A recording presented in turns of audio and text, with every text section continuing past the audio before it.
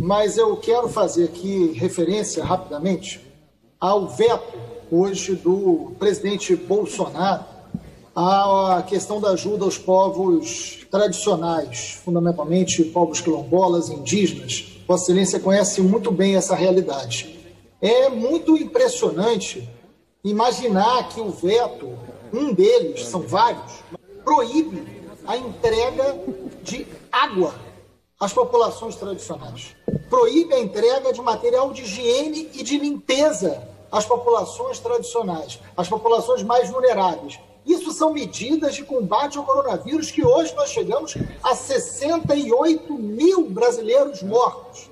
Essas populações que já não têm sobre elas políticas públicas que garantam a qualidade da sua vida e a promoção das suas culturas, têm agora suas vidas diretamente ameaçadas pela estupidez de um presidente. O Bolsonaro não é só, presidente, um presidente ruim. Ele é uma pessoa ruim. Porque negar água aos povos tradicionais, aos povos originários, negar água aos quilombolas é de uma maldade. Concluir, deputado Marcelo. E ainda se diz cristão.